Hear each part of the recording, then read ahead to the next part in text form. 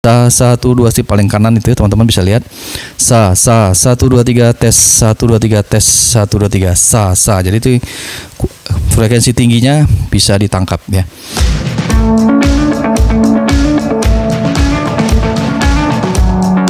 Bismillahirrahmanirrahim Assalamualaikum warahmatullahi wabarakatuh Teman-teman sekalian apa kabar?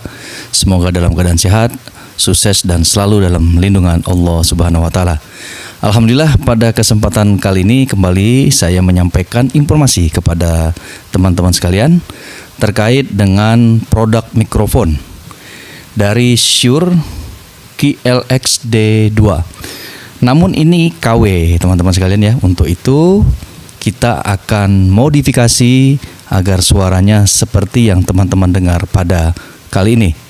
Jadi sumber suara yang sedang saya sampaikan kepada teman-teman melalui mikrofon yang sudah saya modifikasi. Nah, seperti apakah caranya teman-teman sekalian? Simak terus video ini, kemudian jangan lupa dukung terus channel ini. Semoga apa yang saya sampaikan ini betul-betul bisa menjadi referensi dan bermanfaat. Sekali lagi terima kasih atas dukungan teman-teman sekalian. Baik, teman-teman langsung saja ya. Dari kotaknya untuk mikrofon ini kotaknya biasa aja ya. Waktu dat- datang pengiriman itu ini remek-remek begini ya. Karena kotaknya ini dari kertas karton jadi tidak ada yang istimewa sebenarnya. Isinya ya seperti ini ya namanya juga barang KW jadi ada kertas petunjuk seperti ini yang jarang kita baca juga. Kemudian ada charger kabel ya kabelnya kemudian ini ada ringnya. Kemudian ada receiver ya ini yang lagi dipakai. Receiver dan ini bisa dicas dari mikrofonnya bisa dicas pakai type C pakai adaptor HP kemudian dari receivernya juga bisa di charger pakai kabel type C dengan adaptor handphone ya teman-teman sekalian. Jadi dari sisi kotaknya ini seperti ini ya kekurangannya kalau barang-barang KW atau barang yang murah di pasaran biasanya dia tidak memikirkan kotaknya gitu ya kemasannya. Nah tapi kalau dari sisi fisik, nah ini teman-teman bisa lihat warnanya cukup menarik. Ini tidak termasuk ini ya teman-teman. Saya pegang aja dulu ya. Nah ini kalau fisiknya dia dari plastik tapi cukup tebal ya, lumayan lah tidak malu-maluin lah teman-teman. Jadi kalau digenggam begini di depan audiens atau di acara-acara nggak kelihatan kalau ini barang KW ya. Kemudian warnanya menarik hitam putih ya. Kemudian ini ada indikator frekuensi ya LED dipencet hidup ya. Ini hidup lagi. Frekuensinya 763 kalau yang satunya 765.40 ini 763.40 ya, teman-teman ya. Ya, mudah-mudahan kelihatan ya. Oke, eh, kemudian baterainya isinya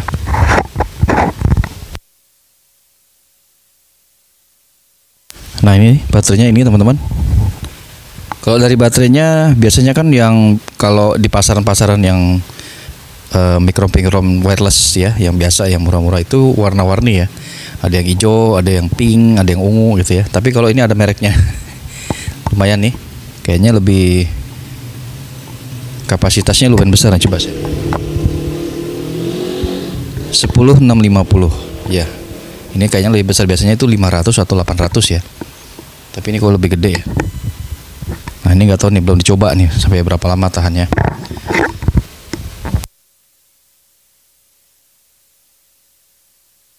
Nah, oke teman-teman ya. Jadi itu yang secara fisik.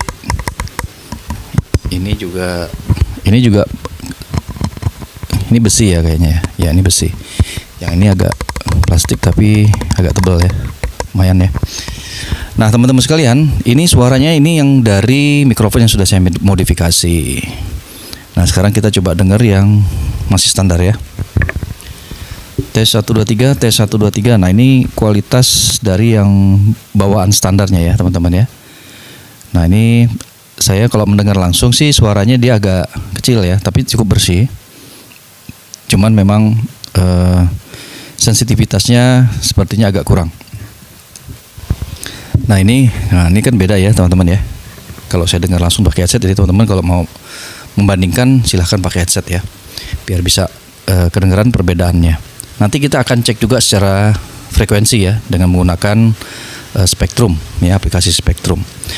Nah teman-teman sekalian, jadi uh, ini saya modifikasi, saya kemudian buka spoolnya, saya ganti dengan tipe spool ini akustik ya V8.5. Jadi setelah saya coba-coba karena ini kepalanya bulat ya, untuk ukuran tipe spool akustik V85 ini ternyata cocok ya dengan dudukannya. Dan kemudian ukurannya kalau ditutup dengan kepala mic ini pas sekali. Jadi nggak ada apa namanya uh, ada kadang-kadang kalau dia kebesaran itu nggak bisa ditutup ya teman-teman karena modelnya bulat nih micnya kepalanya ya jadi harus cari yang ukurannya lebih pas dan lebih uh, kecil ya sesuai dengan ukurannya. Karena ada kadang-kadang tuh spoolnya agak panjang ya jadi agak susah ditutup. Nah ini kalau kita lihat uh, dari sisi karakter suaranya ini dia untuk frekuensi tingginya dia sensitif ya. Oke ya kalau kita lihat grafiknya kalau untuk apa namanya uh, frekuensi tinggi itu dia grafiknya naik ya. Jadi kalau yang uh, frekuensinya bassnya atau apa low-nya itu tinggi biasanya suaranya ngebas teman-teman. Tapi kalau ini sepertinya dia landai ke atas ya, naik ke atas lah tapi landai. Kemudian uh, ini nanti teman-teman bisa lihat ya di video ya speknya mudah-mudahan kebaca nah kemudian teman-teman ini warnanya coklat ya. Jadi tadi saya sudah solder solder buka-buka kita bandingkan uh, spool yang standar dan spool yang apa namanya uh, yang sudah kita modif ya. Jadi memang perbedaannya kalau dari sisi fisik memang lebih meyakinkan dari spool yang kita modif ya teman-teman ya. Jadi itu fungsinya kita upgrade nih mic biasanya jadi jadi mic yang lebih berkualitas. Nah, mudah-mudahan tidak kalah dengan mic aslinya ya. Ini bisa bisa ngambek nih uh, produsen atau dealer-dealer dari Shure yang asli ya. ini mohon maaf ini hanya edukasi saja jadi teman-teman bukan berarti saya mengatakan uh, ini bisa sama persis dengan yang yang originalnya ya tidak juga ya teman-teman tapi kita berupaya dengan ada spool-spool yang beredar di pasaran yang kemudian ini kita coba kemudian ini memang hasilnya bagus ya kenapa tidak kan gitu ya. Ini makanya untuk bagi kita yang kantongnya tidak terlalu memadai ya untuk membeli yang original ini merupakan satu alternatif ya teman-teman ya. Jadi kita upayakan ini bisa kita maksimalkan. Nah kalau dari fisik ya tampilannya seperti ini kalau kita buka spoolnya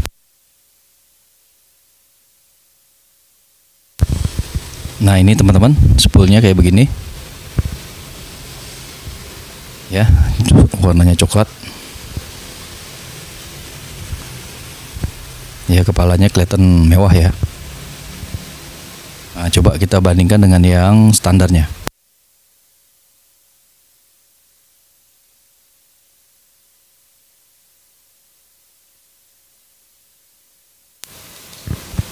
Nah ini yang standarnya teman-teman seperti ini ini sebenarnya cukup lumayan juga sih yang standarnya ya. Spoolnya ini warnanya juga asik juga nih spoolnya. Kalau yang standar biasanya di handphone apa di mikrofon mikrofon yang biasa saya review warnanya hitam polos ya, tapi ini ada warna ungunya, warna birunya ya. Nah ini yang kita modif ya seperti ini.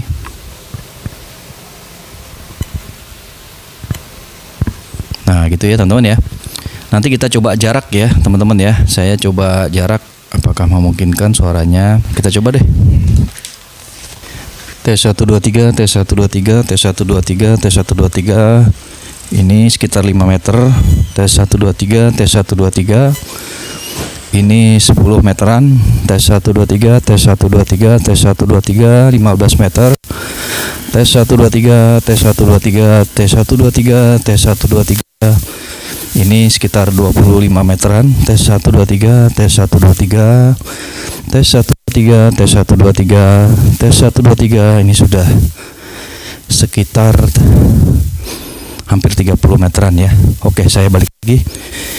Karena nggak cukup sampai 50 meter kita balik lagi. Tes 1 2 3 tes 1 2 3 tes 1 2 3 ini mungkin sekitar 20 meter tes 1 2 3 tes 1 2 3 tes 1 2 3 15 meteran tes 1 2 3 tes 1 2 3 tes 10 meter tes 1 2 3 tes 1 2 3 tes 1 2 3 balik ke 5 meter.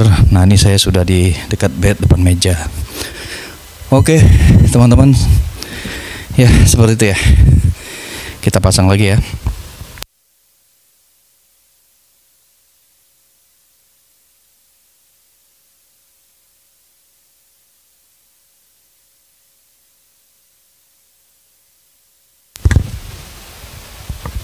Ya, jadi itu ya kualitas suaranya teman-teman ya. Jaraknya tadi hampir sekitar 30 meteran ya. Saya lari sampai ke ujung tuh. Tapi nggak lebih dari itu karena keterbatasan jarak ya. Saya nggak bisa jauh lebih jauh dari itu. Tapi prinsipnya yang penting kalau suaranya masih jernih berarti dia bisa lebih. Tapi kalau suaranya udah mulai kersek-kersek berarti itu yang maksimalnya teman-teman sekalian. Baik teman-teman sekalian, uh, mungkin kita akan coba dengan pakai aplikasi ya biar kita bisa lihat uh, grafik spektrumnya. Kita bandingkan mana yang uh, apa namanya yang sudah kita modif dengan yang kita masih standar. Kita coba bandingkan grafiknya atau spektrumnya. Baik teman-teman ini saya pakai yang masih standar ya. Kita coba tes 1 2 3 tes 1 2 3 1 2 3 tes 1 2 3 Assalamualaikum warahmatullahi wabarakatuh. Sa sa sa satu dua tiga. Tes tes satu dua tiga. Satu dua tiga tes satu dua tiga. Nah itu grafiknya teman-teman bisa kita lihat. Yang paling dominan itu mulai dari 70 Hz sampai sekitar uh, 3,7 kHz ya. Kemudian yang paling tinggi uh, frekuensinya di 14 kHz itu masih bisa ditangkap oleh mic ini. Nah, sekarang kita coba uh, dengan menggunakan yang sudah kita modifikasi.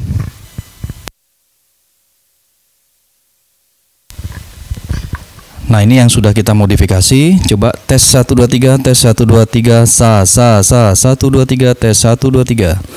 1 1 2 3 tes tes tes. Sa sa sa assalamualaikum warahmatullahi wabarakatuh. Nah ini grafiknya mungkin sedikit lebih uh, lebih tinggi ya. Maksudnya lebih sensitif nih teman-teman kalau kita bisa simpulkan.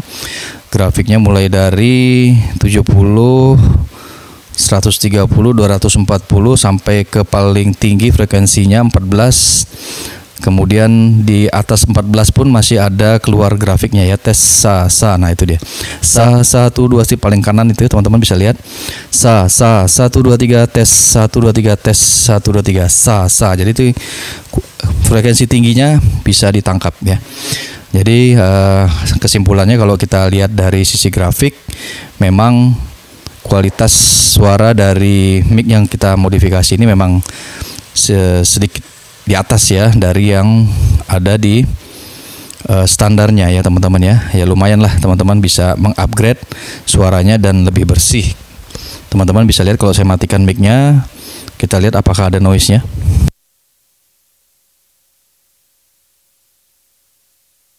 Nah itu ya teman-teman ketika sudah dimatikan mic-nya lumayan bersih ya, tidak ada frekuensi yang mengganggu. Nah ini merupakan gambaran bahwa uh, mikrofon ini cukup bisa diandalkan. Nah, baiklah teman-teman, demikianlah ya hasil dari review atau tutorial terkait dengan mikrofon Shure KLX D2 ya yang sebenarnya ini KW yang sudah saya modifikasi. Kemudian pabrikannya seperti ini tadi kita sudah bandingkan.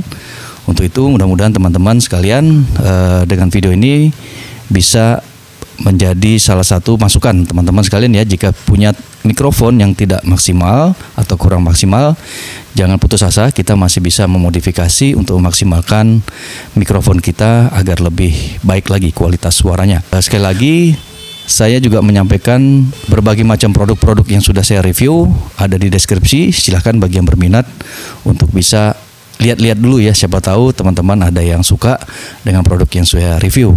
Selain harganya lebih murah, kekurangan dan kelebihannya sudah saya kupas tuntas. Untuk itu teman-teman sekalian, sekali lagi mohon maaf jika ada kekurangan. Terima kasih atas dukungan teman-teman sekalian. Sampai ketemu di video-video berikutnya. Wassalamualaikum warahmatullahi wabarakatuh.